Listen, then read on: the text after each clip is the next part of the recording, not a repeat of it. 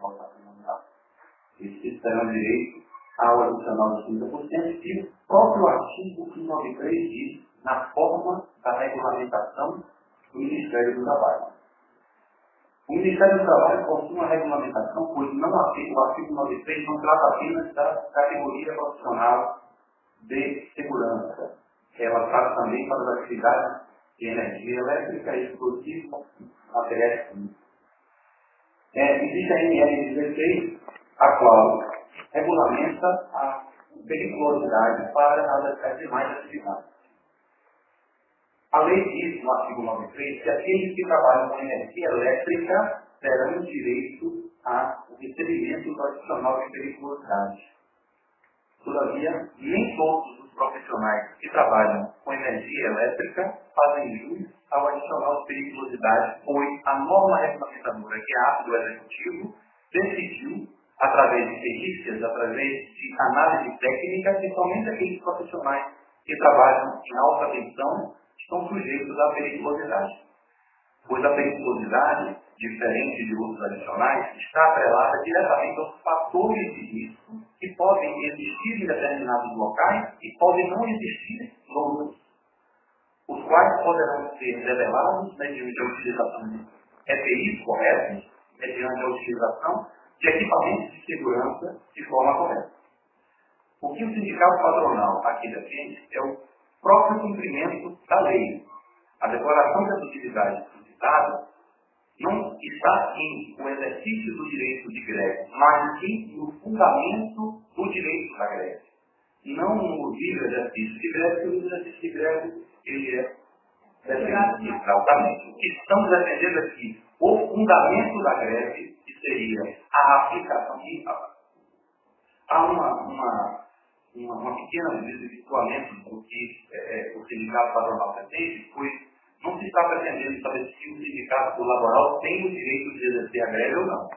O que se está discutindo é que o cumprimento da lei, que o sindicato entende que está vigente, não é simplesmente que ela alterou o artigo 93. Ele entende que o pagamento é desde 10 de dezembro de 2012, a data em que a lei foi publicada.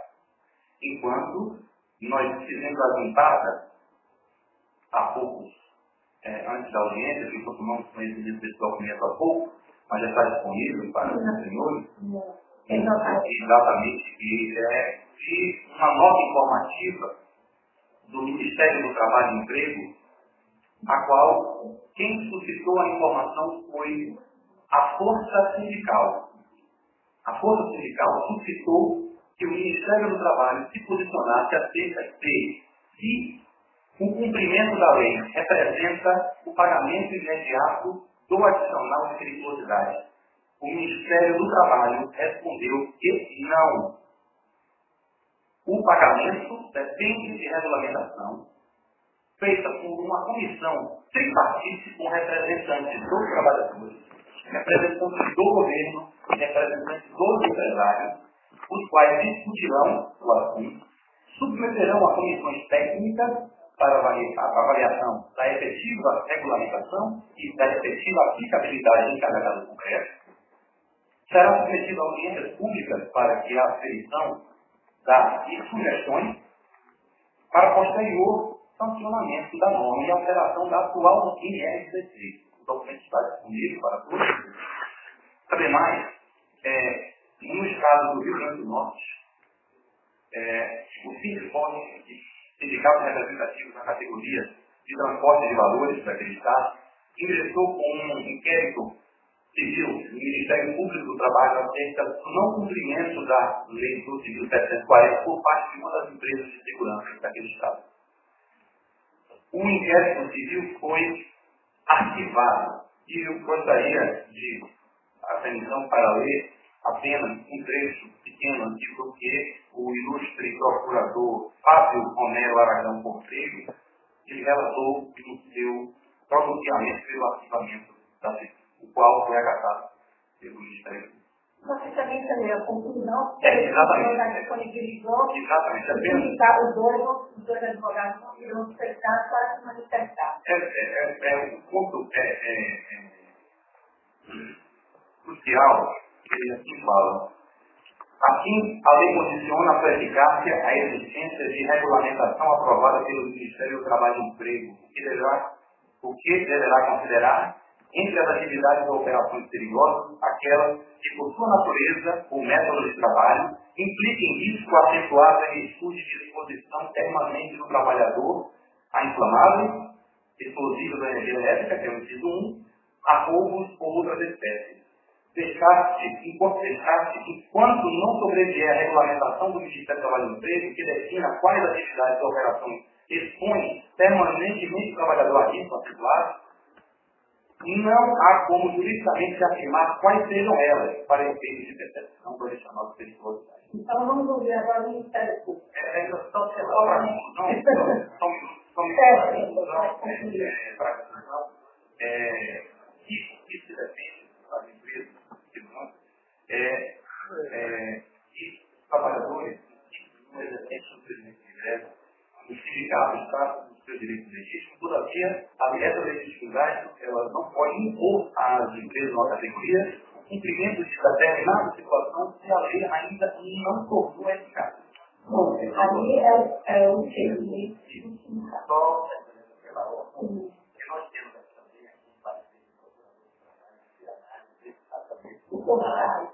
E apenas parecer assim, agora também, nós também autos, uma coisa podia destacar de sair qualquer assunto patronal.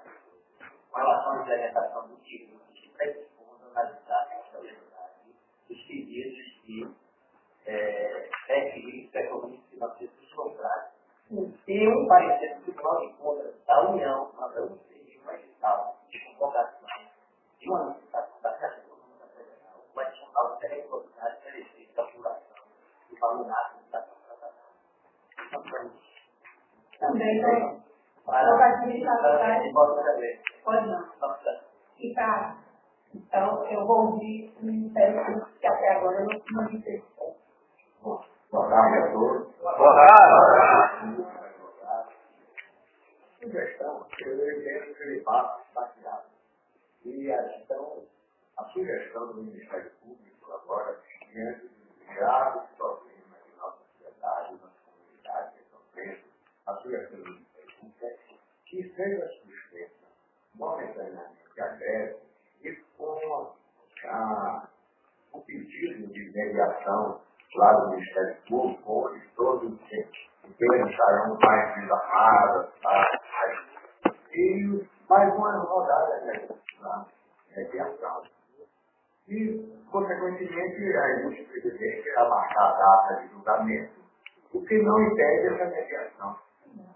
Será marcada a data agora de julgamento, no difícil, enquanto isso, as partes serão partes tempo de negociar, às vezes, porque eu, realmente, esses casos não tem outro.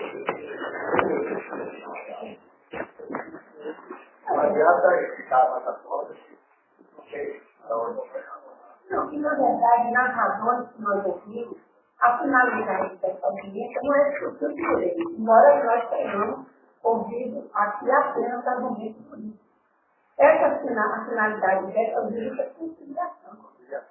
Então, se essa conciliação a gente não obtém hoje, mas pode vir a obter na Procuradoria, ou na Superintendência, ou em algum, ou até ambas as partes tentando e conversando, como deve ser, de forma democrática e harmônica, também o melhor é a finalidade do tribunal, a, a intervenção dessa coisa é apenas para fazer um encontro de vontade, nessa linha.